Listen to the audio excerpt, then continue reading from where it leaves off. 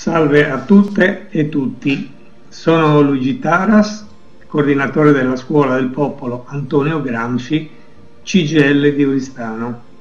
Oggi vi proporrò la seconda pillola riguardante un'altra mia opera scultorea che si intitola Tradizioni.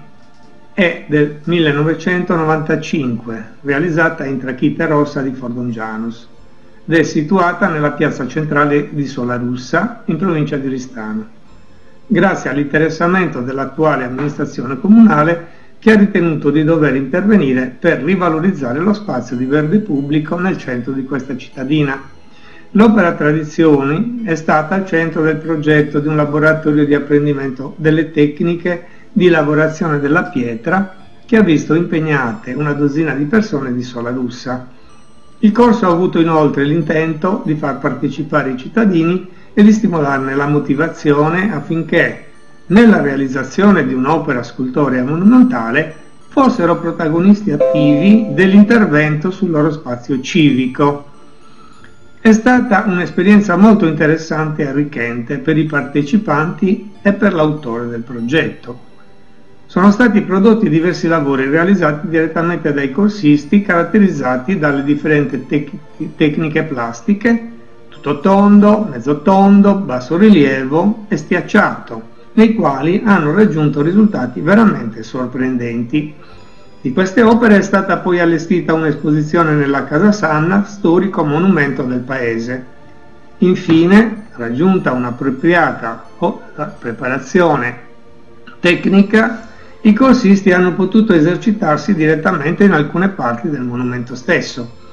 Ciò ha determinato una notevole soddisfazione nei partecipanti e la completa adozione da parte della popolazione dell'opera stessa.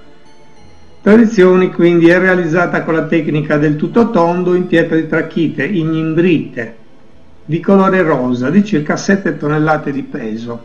La scelta di utilizzare i materiali del territorio è coerente con l'intento dell'autore di valorizzare le risorse locali e in particolare quello di caratterizzare l'ambiente in cui si opera con ciò che maggiormente lo identifica dal punto di vista del proprio patrimonio socio-culturale e ambientale.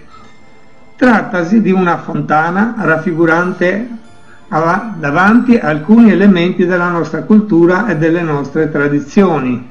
Lo stile tra il figurativo nelle parti che riguardano le figure umane e alcuni elementi della cultura materiale, vedi la ceramica, gli arnesi per la lavorazione della pietra o sorriu, che è un ordito di canne, il quale avvolge nella parte posteriore l'intera opera, e l'informale, rappresentato fo nella forma visibile di un involucro, una crosta un guscio che nella sua spessa stratificazione metaforicamente raffigura il nostro vissuto storico e identitario nel manifestare il suo intrinseco effetto di condizionamento e limitazione.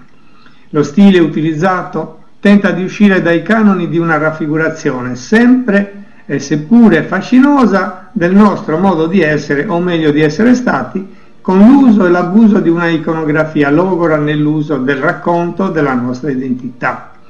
Vuole pertanto metterla in relazione con la realtà contemporanea. Questa rappresentazione, che come si è detto tenta di non cadere in stereotipi rappresentativi, nella loro iconografia storica, prova a creare un tramite fra ciò che è una cultura materiale, che ormai è un passato, è una realtà proiettata verso altre forme di società completamente diverse. In questo senso l'opera appare nel complesso quasi metafisica.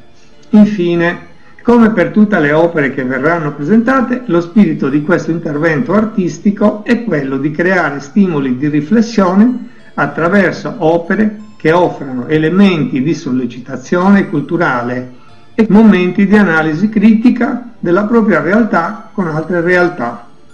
Arrivederci alla prossima descrizione di un'opera plastica. Ciao!